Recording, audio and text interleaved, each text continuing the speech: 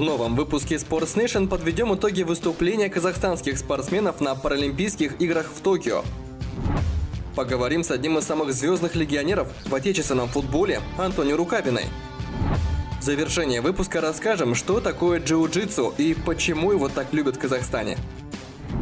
Паралимпийские игры в Токио стали историческими для Казахстана. Еще никогда наши пара-атлеты не были столь успешными на международной арене. Пять медалей. Одна золотая в парапауэрлифтинге, три серебряные в парадзюдо и одна бронзовая медаль в параплавании. По мнению экспертов, у такого яркого выступления есть несколько причин, сегодня мы хотим поговорить о них более подробно.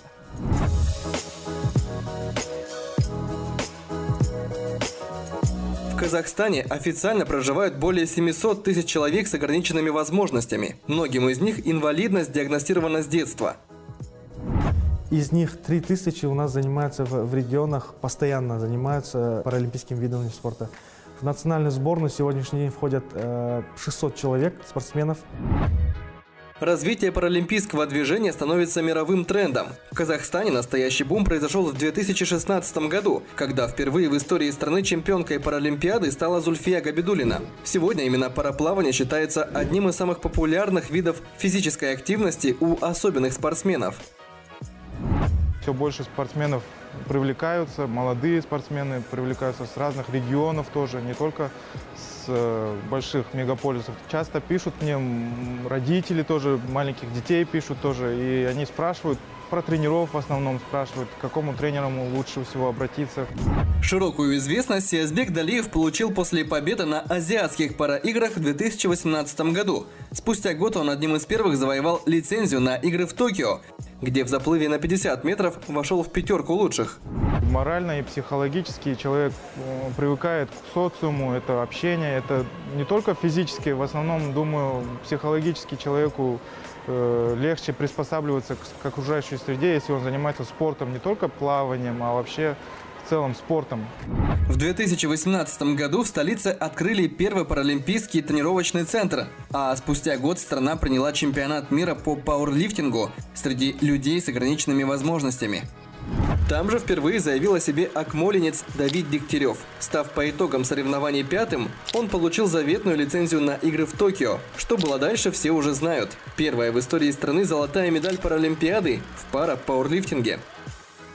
Знаете, это очень важно в отношении того, что они э, дают мотивацию другим, другим инвалидам.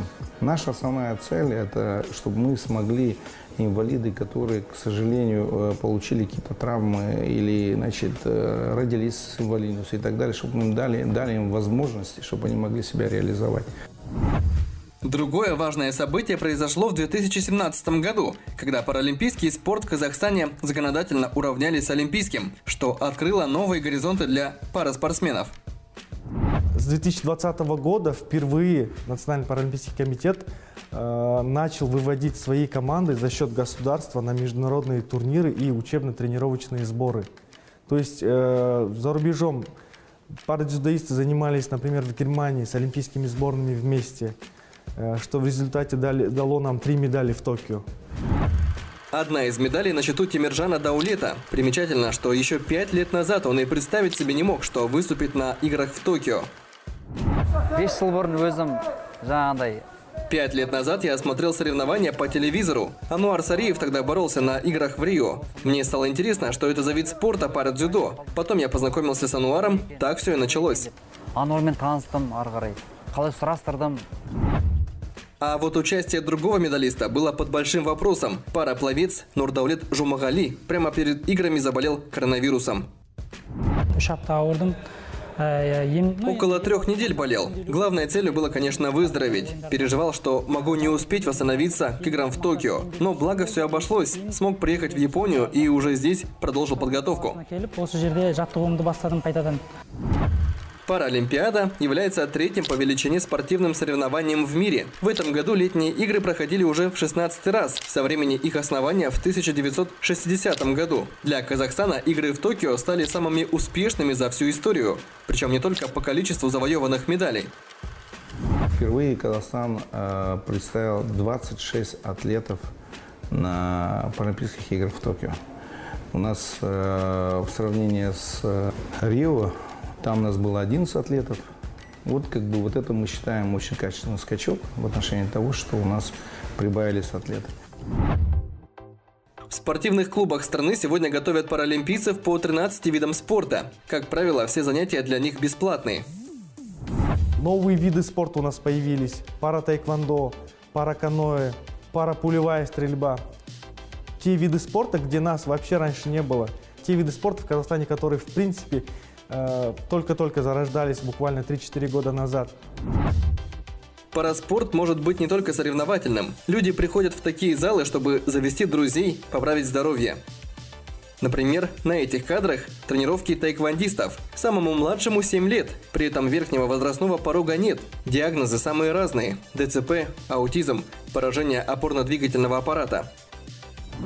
У меня две задачи. Для тех, кто занимается профессионально, хочет заниматься, мы с ними находим свой диалог. Э, есть дети, которые приходят для восстановления, реабилитации, лечебной физкультуры. Для этих детей мы тоже готовим бесконтактные. Для них мы тоже находим диалог с родителями, проводим соревнования. То есть для, для ребенка получить медаль какую-то, что-то выиграть, для него это тоже какой-то этап лечения, профилактики, адаптации в обществе. Ежедневно особенные спортсмены преодолевают себя, чтобы стать ближе к своей мечте. Возможность жить полноценной жизнью для многих даже важнее медалей и признания. Жизнь, она нам дана только один раз. Я думаю, если ты будешь сидеть дома и закрываться от этого, никому не, не станет легче, никто не будет даже об, о тебе думать. Главное, надо ну, не закрываться, а идти только вперед, работать над собой. Теперь спорт – неотъемлемая часть жизни этих людей. Ради результатов им приходится ежедневно трудиться, но всегда эти усилия вознаграждаются. Я раньше тоже пробовал во многих видах спорта, там футбол, баскетбол, ну там как плохо получалось, а здесь вот как сюда пришел, ну вроде нашел свое и начал заниматься усердно. Ну это, во-первых, иммунитет, крепкий иммунитет, самочувствие хорошее, бодрое, чувствуешь себя более уверенно. Важнейшая сторона развития паралимпийского движения – создание условий для особенных спортсменов. И если в крупных городах изменения уже ощутимы, то в регионах вся работа только предстоит. Есть спортсмены сборной, даже которых тренера либо инструкторы поднимают на второй этаж каждый день, иногда по два раза в день. Это э, немыслимые такие ситуации, которые нужно э, поскорее решать. Результаты выступлений паралимпийцев сегодня вдохновляют миллионы человек и меняют отношение общества к людям с особыми потребностями. Для таких спортсменов это не просто физическая реабилитация, это еще и возможность жить полноценной жизнью, обрести уверенность и найти друзей. Далее в выпуске большое интервью с Антонио Рукавиной о Казахстане, местном футболе и завершении карьеры. Друзья, в чемпионате Казахстана по футболу всегда выступали яркие и талантливые легионеры.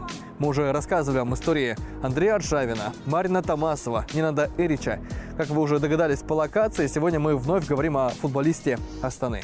Антонио Рукавина, экс-игрок сборной Сербии по футболу, проводит свой прощальный сезон. Он уже объявил о том, что в конце года завершает карьеру футболиста, поэтому повод для интервью у нас особенный.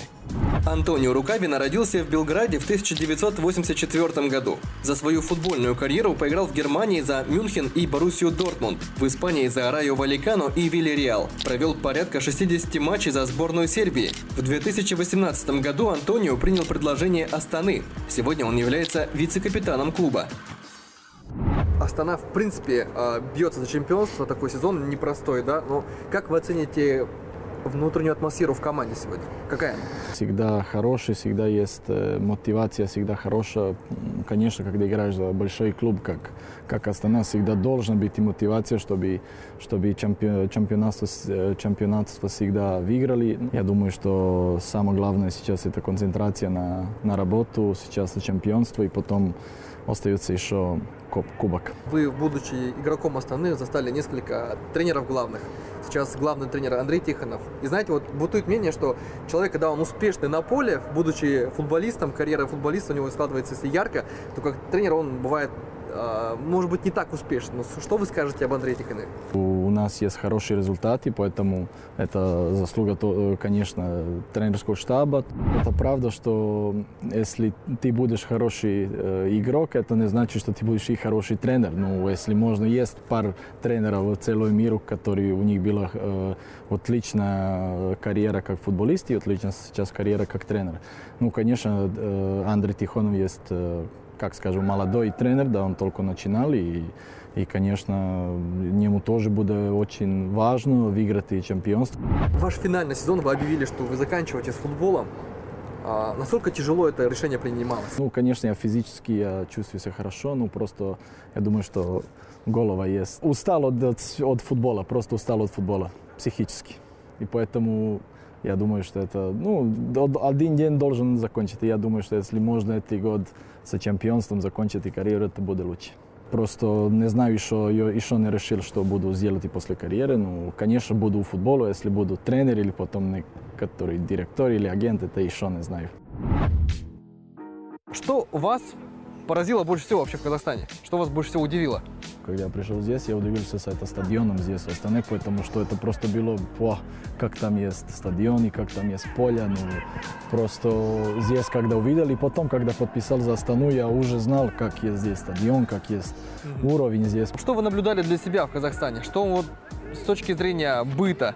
Клима такая, ну, это право здесь, что я заметил. Это, здесь ну, холодные зимы, холодные, да, да, это в первую очередь. Очень, но бывает да. и жаркое, жаркое лето. И да? лето, да. Ну, это, есть сразу с, э, э, с лета сразу на зимой, да. Это нет, это просто сразу из этого э, майки сразу куртки, да. Знаете, о вас говорят всегда, что профи на поле, профи вне поля. То есть да. ваше отношение к жизни, то есть в целом ваша философия, она многим нравится. Как вы думаете, ну, с чем это связано?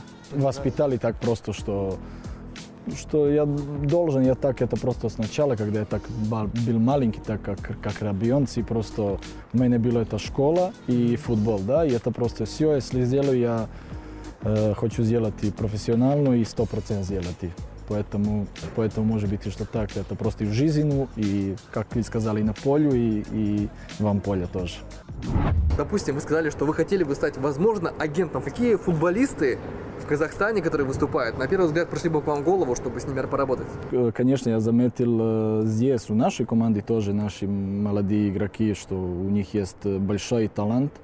Конечно, только есть, когда я сразу, когда я пришел здесь на тренировкам, что я заметил игрока это Зайтудинов, да, который я сказал, что это просто у него есть так, ну, идеально все есть. Это у него э, физически там все как есть. Ну, конечно, у каждого из нас есть, если играем в футбол, есть талант, да.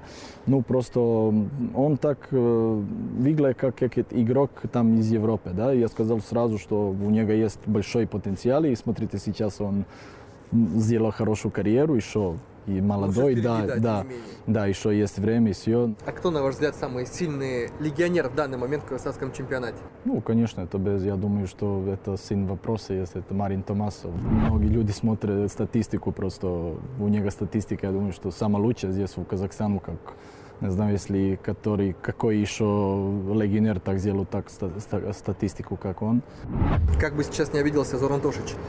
Ну да, он только, ну, конечно, он только пришел, да, он только пришел, конечно, он, конечно, мой друг, если сейчас, что не бы я только сказал, это с Балкана игроке, да, ну, просто это, э, я думаю, что он, Томас уже, уже 4 года, я думаю, здесь в казахстанском футболу, и это, что он сделал за эти 4 года, я думаю, что не Нет, знаю, если можно, да. Деле. Его называют Марин Голпасов. Голпасов, да. Да. Удалось ли вам с Зораном встретиться здесь, в Казахстане? Да, да, конечно. Ну, мы играли там в Партизан вместе, играли потом. Вы, в принципе, очень близки, насколько я знаю, он является крестным, да? Да, да, да, да, да. И когда он пришел здесь, ну, конечно, это меня был, я был очень рад, потому что возможность есть увидеться. Ваша семья в Сербии? Не ошибаюсь, они да. там проживают. Э, это ведь одна из причин, я думаю, почему вы завершаете карьеру, потому что уже хочется быть семьей, есть такие потребности внутренние. Да, есть, да, потому что я думаю, что каждый человек есть, ну, семья самое главное, да, и э, Конечно, мы раньше были вместе там и в Германии, и в Испании, ну, потому что детей начинали школу, и что-нибудь там детей там были здесь, там, потому что здесь играется мая до ноября, потом есть отдых. И, конечно, это просто наш план так был, что детей остаются там в школу в Сербии учить. И, конечно, когда ты далеко от семьи, это очень сложно. Ну, здесь хорошее, потому что у нас получается всегда, когда есть э, пауза сборная, всегда у нас есть выходной, есть пар дней, чтобы мы могли улететь и дома, чтобы были со семьей. Ну, конечно, это всегда есть на ложку тебе дают там чуть-чуть времени. Ну, конечно, и это еще почему я решил э, закончить с футболом. На что вы потратили первую зарплату в футболе? Я думаю, ну, конечно, это не была большая зарплата, это было только, я не знаю, это ушел другом на капучино и, не знаю, покупали там какие вещи, там, не знаю, майку, там, это с 18 лет, а что нужно. Кто в команде самый стильный, как вы считаете? Ну, из каждого из нас есть стиль по-другому, да. Я, когда был тоже молодой, там, я любил там футболки, просто там, что так удобно, да. Я думаю, что у меня есть стиль, ну, просто у это... вас есть стиль определенный, ну, я думаю, это, что... Это должны другие там сказать. Игроки скажут про вас, что вы самый стильный в команде. А кто самый с отличным чувством юмора? Кто больше всех шутит? Есть Тигран Барсиян, он как э, клоун, да? Клоун. Клоун, да? Шутник. Да, шутник, так, это просто, ну, это позитивно, да? Он да. всегда есть такие, ну, есть наш э, Игорь, администратор, который работает с нами здесь Он тоже очень-очень-очень всегда есть, э, когда выиграем, когда проиграем, всегда знает, что сказать, и чтобы мы улыбались, чтобы смеялись. Что вас больше всего удивило в казахстанском футболе? Все знаем, что это поле не так хорошее здесь у, у, у Казахстану. Ну, качество лиги не так, так плохо, как многие думают. Я думаю, что есть хорошее качество здесь. Я думаю, что если поле будет лучше, я думаю, что и футбол будет лучше. Антонио, худшее поле, которое вы видели в Казахстане? Каспий, Актау. Я думаю, что там просто это не футбольное поле. Вы несколько раз заявляли, что вы приехали поиграть в Лиге Чемпионов. То есть чаще всего бывает такое, что хорошие, успешные футболисты из других чемпионатов сильных, да, они приезжают доигрывать. То есть в вашем случае вы были полны амбиций. Жалко, что не, не успел, но всегда, конечно, каждый человек из нас есть, есть амбиции, да, и он хочет больше и больше и лучше все сделать, да, это, конечно, мой план это был, когда пришел здесь, если получается играть и Лигу чемпионов. Астана раньше, ну, сейчас тоже это большой клуб здесь, и сколько, шесть э, чемпионства выиграли рядом и играли один раз в Лиге чемпионов. Наша работа есть как бизнес, конечно, есть и хороший контракт, и все, почему я здесь тоже пришел. Ну, это как э, спортивная амбиция, это было играть э, Лигу чемпионов, выиграть, и, конечно, чемпионство. Этап карьеры для вас самый такой ценный?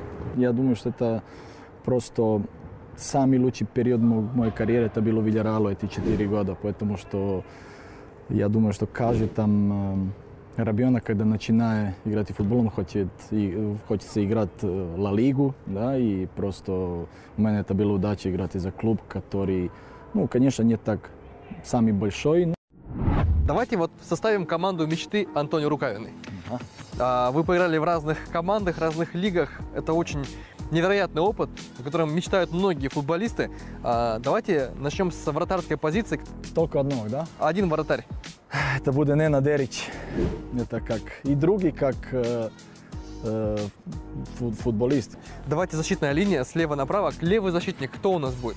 Все это игроки, скажем, с которыми я играл, да? Да. Все, с кем вы выступали не только в клубах, но и сборной Сербии, может быть. Ну, это будет Коларов. Я думаю, что хороший футболист. Э, Матео Мусачио.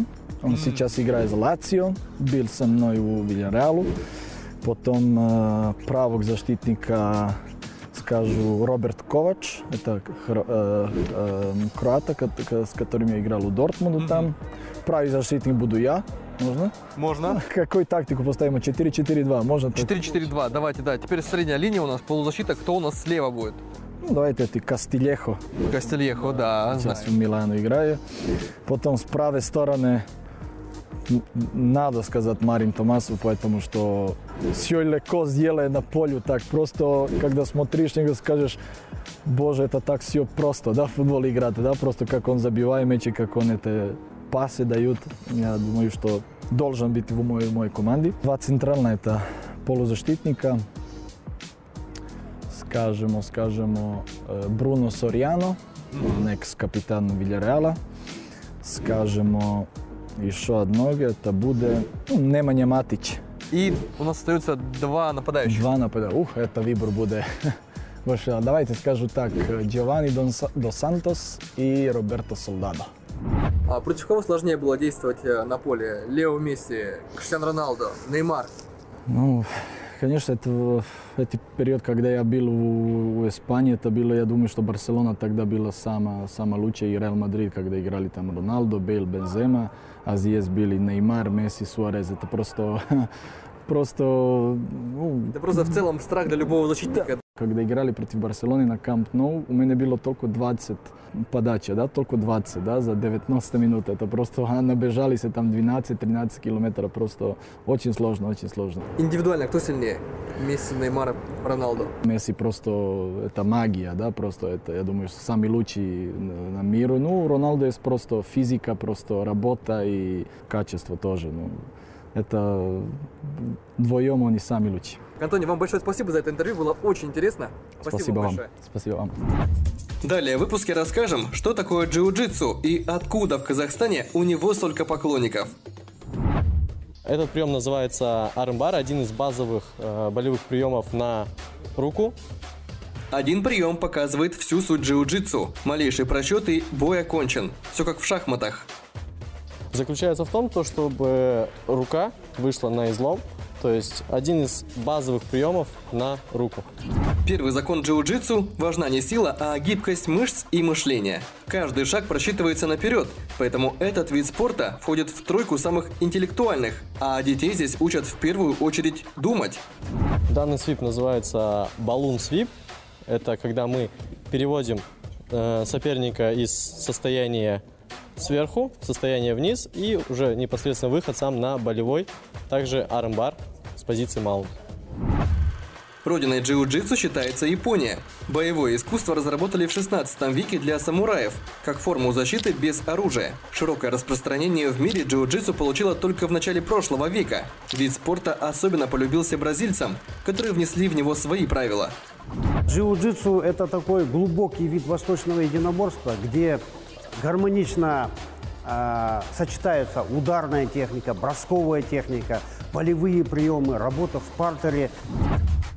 Во всех видах борьбы, если соперник лег на лопатки, это поражение. Но в джиу-джитсу с этого все только начинается. В таких условиях сила, вес и рост борцов не имеют решающего значения, а броски и подсечки здесь не менее красивы, чем пируэты в балете или прыжки в фигурном катании. Это setup sweep с дальнейшим выходом на атаку удушающий треугольник. Джиу-джитсу практикует такое, э, что более, скажем, слабый соперник всегда может победить более сильного, потому что а, существуют захваты, различные приемы удержания, которые помогают именно привести человека к победе, независимо от его физической подготовки. То есть а, вообще джиу-джитсу называют а, шахматы, шахматы на, на татами. Эштон Качер, Киану Ривз, Том Харди, Гай Ричи. Всех их объединяет особая любовь к джиу-джитсу. Самым успешным звездным борцом можно назвать Мэла Гибсона, который достиг уровня черного пояса. Первое, от чего будет зависеть успех в джиу-джитсу – мастерство наставника. Но не менее важно ваше стремление совершенствоваться и упорство. Прийти в секцию можно в любом возрасте. Именно зависит от э, профессионализма э, тренера.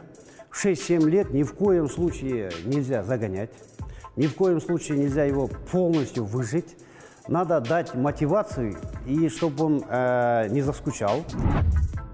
Джиу-джитсу имеет восточные корни, а значит учит уважению к сопернику и призывает к внутренней гармонии. Регулярные занятия повышают самооценку и в целом положительно сказываются на здоровье человека. По традиции в конце выпуска рубрика «Видео недели». Казахстанская фигуристка, вице-чемпионка мира 2019 года Элизабет Турсенбаева объявила о завершении карьеры. Позади 16 лет профессионального спорта. Впереди, как заявила сама спортсменка, тренерская работа. А мы лишь напомним, что Элизабет – первая в мире фигуристка, исполнившая четверной сальхов на официальных соревнованиях. Но фигурное катание – это далеко не единственный ее талант. Лиза профессионально играет на скрипке и фортепиано. под композицию Абы «Winners Take It All» мы прощаемся с вами. Подписывайтесь на YouTube канал Казах ТВ и следите за нами онлайн.